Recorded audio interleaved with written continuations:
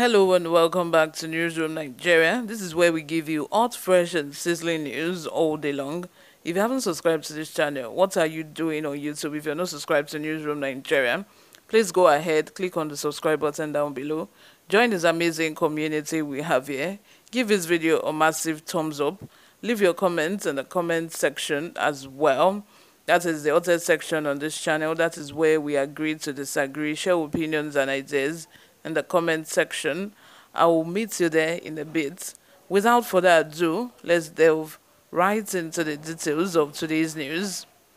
What Peter Obi told my child, Biafra warlord's wife, Bianca Ojukwu, reveals. On Friday, Bianca Odumegwu Ojukwu, a wife of late military colonel, received Peter Obi, the presidential candidate for the Labour Party, in her apartment concerning the 2023 election. The visit and matters discussed were surely connected to the aspiration of the Labour Party's presidential candidate, Peter Obi. This information was published on the Facebook page of the late Bianca Warlord's wife, where she also referred to Peter Obi's visit as a homecoming. According to her, the former governor of Anambra State brought up his hopes and dreams for the country of Nigeria throughout their conversation. She said Peter Obi lamented the plight of the populace, the scarcity of employment opportunities for young people, and his goals to revitalize the economy. Bianca added that Peter Obi Peter Obi also spoke of his ambitions to revitalize the country's manufacturing sector to reduce unemployment in the country. According to Bianca, Peter Obi made a vow to his son that he would never fail to lead the country to buoyancy when he won the election in 2023 simply because they are obedient. She said, and I quote, the presidential candidate of the Labour Party paid a consultative visit to my good self this morning at Casablanca in pursuit of his presidential project, which is making waves across the country and beyond. This was a homecoming of sorts. Okwete set out his political odyssey from his home. He spent some time discussing his hopes and dreams for these nations, he lamented the suffering of the masses, the lack of jobs for the youth, and his plans to turn the economy, the economy of the nation, around. He jokingly told my son, Nwachukwu, it is mostly you young people who are obedient in this country.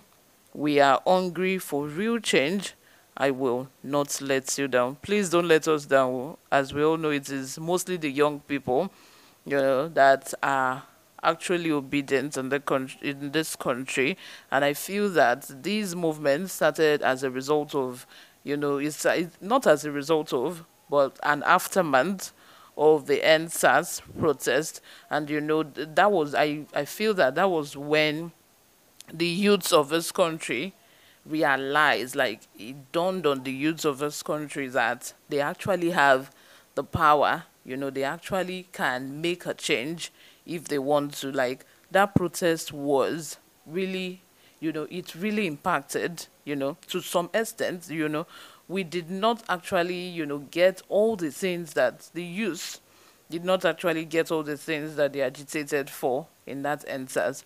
But at least we made an impact. We got some, with you know you win some you lose some.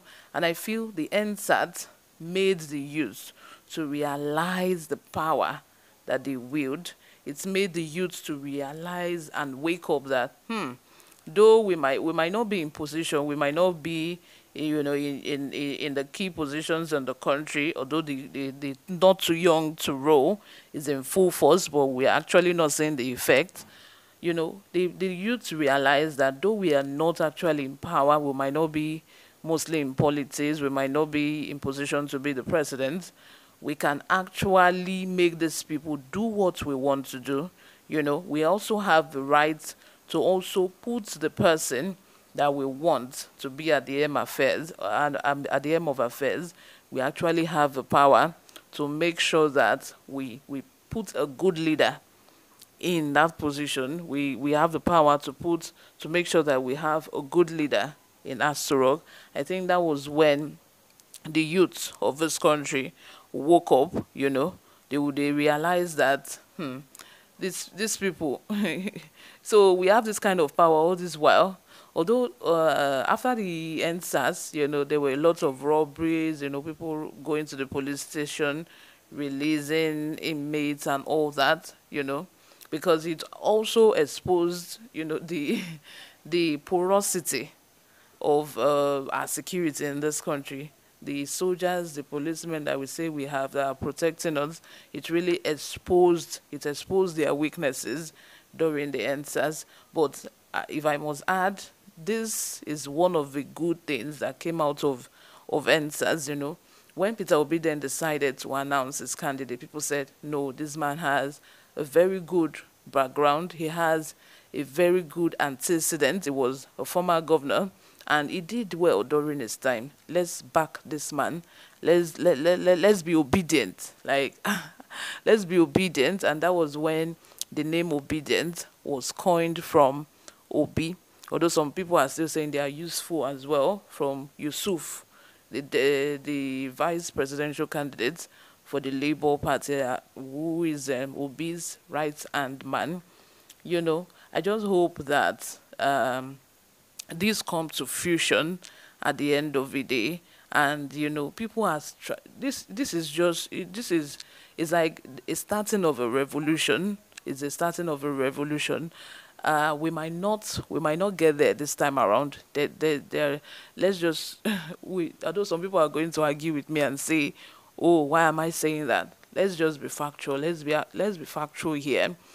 He, Peter Obi might not win this time around, but I just see that this is like uh, an opening. It's just like an awareness period for him, even though it, even if, pardon me, even if it, it, it doesn't win this time around, I know the second time, the second time he has a very good chance, you know, to win. Now that everybody are now obedient, people are now aware, more aware of this, you know, revolution and this old thing that the youth are trying to do. Let me know what you all uh, uh, think in the comment section. Subscribe if you haven't. I will see you in my next video. Bye for now.